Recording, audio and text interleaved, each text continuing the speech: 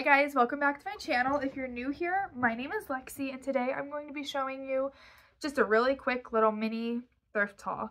So I went two places today and got a few fun items um, and some pretty good deals. I didn't get to look for as long as I wanted to because I had my three-year-old and my almost one-year-old with me and they were very fussy and ready to get home, but I did get a few good things.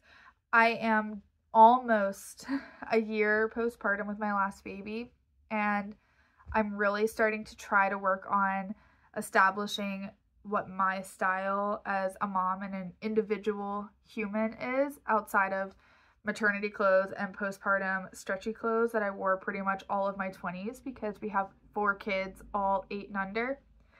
Um, but I'm definitely leaning more towards like a granola girl, uh, cottage core aesthetic with a little bit of like alternative style to it also. Um, so I only got a few things today, but I felt like they were all really good deals and really great items. So I just thought I would share we went two places. Um, the first place we went was Goodwill, and I only got a few things there. Unexciting. I got a pack of kids' toothbrushes because I left the, the boys at my mom's the other day, and they all needed new toothbrushes because we've been using like older ones. So replace their toothbrushes, and then the first clothing item I got, all I got three clothing items there, and all three of them were on the sale tags. So they were each $2. I don't know the brand of this, but it's this really soft, long, lightweight cardigan. I love wearing these with like a tank top and jeans. It's just a super, super simple outfit for church and things like that. Um, I don't know the brand, but it's this really like sagey green color. It's not really picking up on camera, but it's like a light green. The next thing I got is this really soft white um, quarter zip sweater, but it's like an actual stretchy sweater material.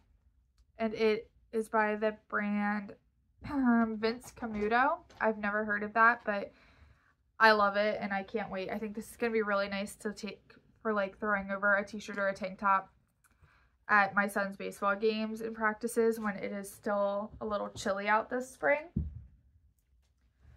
And then the last thing I got there is definitely my favorite. It might be my favorite clothing item of the day. And it's this um, quarter zip also, but it's a fleece. And I think the color and the pattern on this are so fun.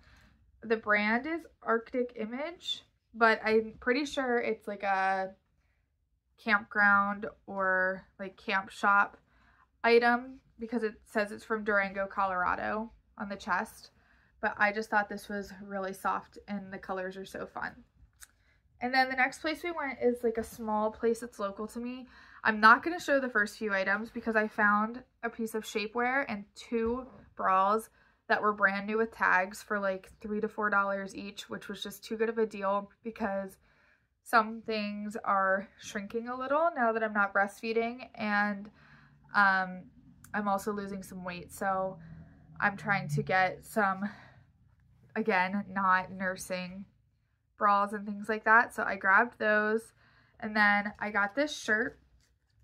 It is by the brand Rewind. This was $5.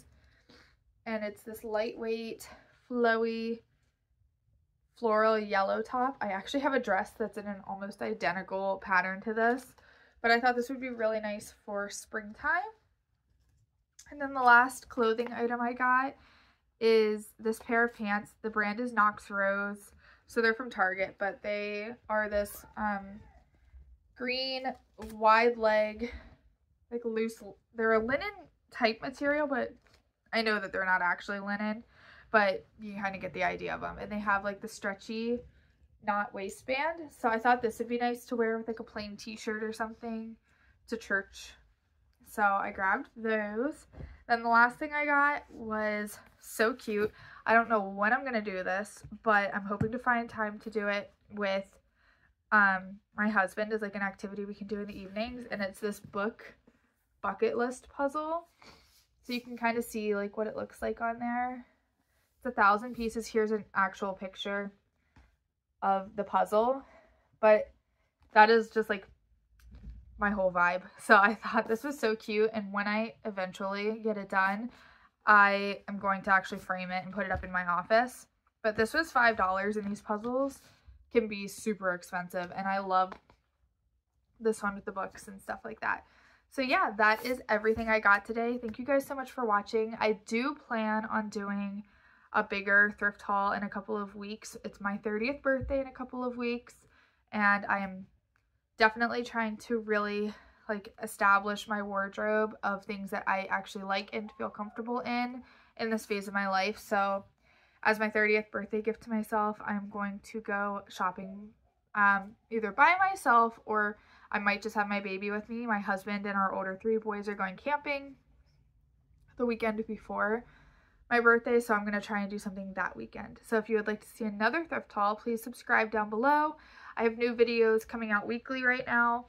Um, I share a lot of like home making content. So I have a cleaning video and a grocery haul, I believe, coming out between now and then.